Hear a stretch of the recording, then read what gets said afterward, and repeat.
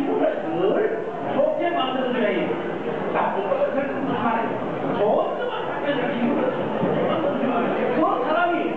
그 둘째는 아무리 사람을 구하더라도 남자와 여자의 강력이 있습니다. 이것을 두 사람을 순리해 묻지 않는 예를 들어서 남편이 아무도 살다 보면 집에 들어서다가 손을 하면 깍치요.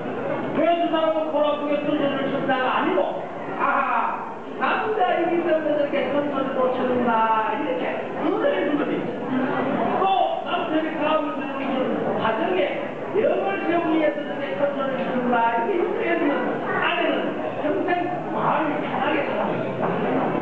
또 반대로 남편이 돌아오는데 아내가 살만 남겨놓는다. 무사람은 왜 고맙으면 자수를 하느냐가 아니고 아 집안이 잘 되게 위해서 저렇게 자수를 하는 거야. 이렇게 남편이 문제인 거야. 남편은 또 문제인 거 하면